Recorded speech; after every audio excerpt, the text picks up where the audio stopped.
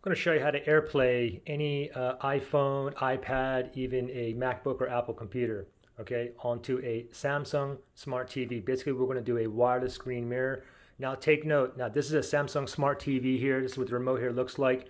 The thing is, to, uh, with the built-in AirPlay settings on the Samsung, your um, Samsung TV model has to be 2018 or above, and that's only on some models, okay? So first thing we're going to do here is go ahead and check the uh, Apple settings. If you don't have, or the um, Apple AirPlay settings, if you don't have that in there and you have a 2018 model or above Samsung, go ahead and do a software update and then check again, okay? So first thing, let's check to see if your AirPlay settings is on. So you can just go ahead and um, tap on the home button on the remote or tap on the home button. Make sure this bottom thing is on. And then you want to go to settings. So go down and then go to the left. You want to go to the three horizontal lines over there. Go left. And now you want to go to the settings icon, the gear icon right there. And then we're going to click on OK.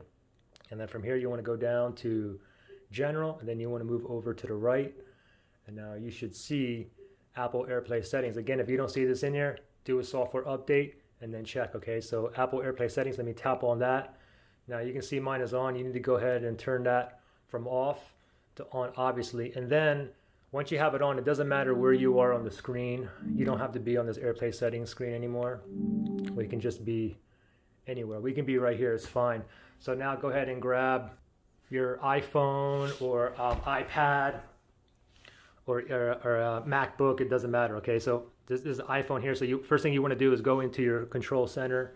So for the newer iPhones, get a control center, you have to go to the top right-hand side and swipe down, okay? For the older, like iPhones and whatnot, I think like iPhone 7 and below, you may have to swipe up from the bottom to get the control center, okay? Anyway, the newer models, top right-hand side, slide down, this is a control center, and we can see screen mirroring right here. So if I tap on that right there, it's going to find my TV. There it is, Samsung 7 Series. Let me tap on that.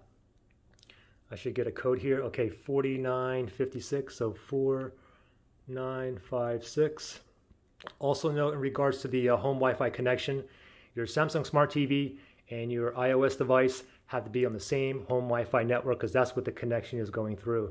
So now you can see that we're mirroring here. You can see how responsive this is as well. Pretty responsive. Ooh, let me focus in on there.